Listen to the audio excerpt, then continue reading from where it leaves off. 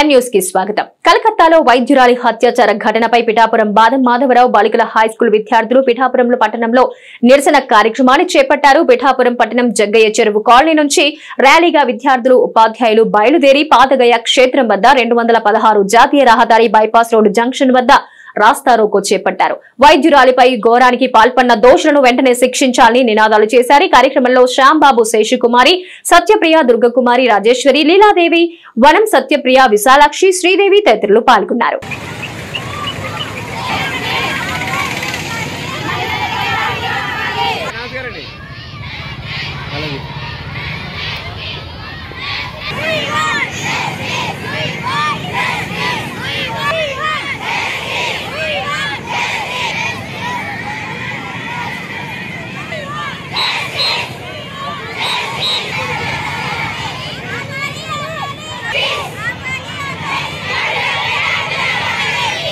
మరిన్ని తాజా వార్తా విశేషాల కోసం ఎం న్యూస్ని సబ్స్క్రైబ్ చేయండి. మీ మిత్రులకు షేర్ చేయండి.